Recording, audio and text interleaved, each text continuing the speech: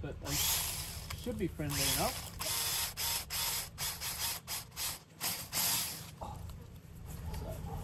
Just drop them on the ground here.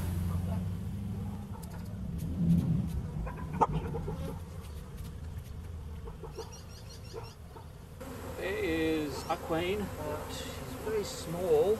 So I'm looking for another queen. There should only be one in here, but she could be like a young virgin queen.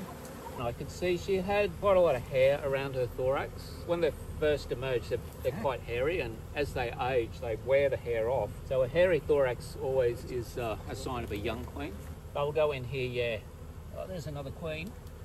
That's two queens we found now. What happens at the beginning of the season, the first swarm that leaves a hive is the primary swarm. The old queen will leave with up to 70% of the population. And then in the old hive, there's queen cells. The first queen that emerges out, in theory, goes and finds all the unemerged queens, chews a hole in their cell and stings them to death. So there's one queen left. So that's what's supposed to unfold. Sometimes they'll emerge out simultaneously. You'll end up with more than one queen running around in the in the box. One will take off and take another half of the colony with them. Sometimes extra queens get caught up in that flight, and then you end up in a situation like this where we've got at least two.